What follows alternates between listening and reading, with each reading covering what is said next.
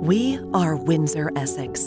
The heart of Windsor, Essex is people, hardworking, caring, resilient.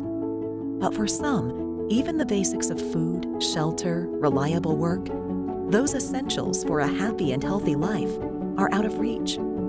The biggest impact is felt by our kids. These families needed our help before, but now they need it more than ever. One act of local love can change a life forever. What is local love? Local love is standing up for what you believe in. It's raising awareness, breaking barriers, helping a family.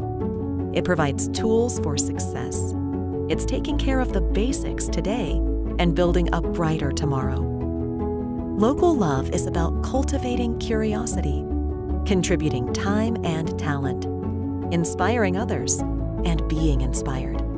It's overcoming obstacles, having a vision for a better life, or even saving a life.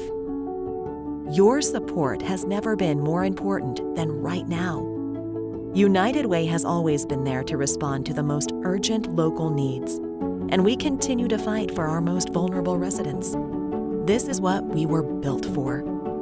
But our community can't recover without you.